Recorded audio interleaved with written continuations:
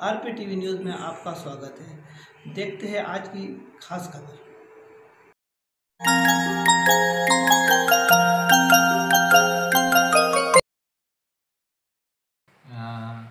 मेरी ओर से ज़िला बड़वानी के समस्त निवासियों को नव वर्ष की बहुत बहुत शुभकामना, बधाई एवं मेरी अपेक्षा है कि ज़िला बड़वानी में सभी प्रकार के क्राइम पूर्णतः नियंत्रित हो।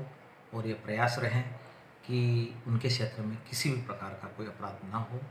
सभी निवासीगण अमन चैन, शांति और सद्भाव के साथ निर्वहन करें।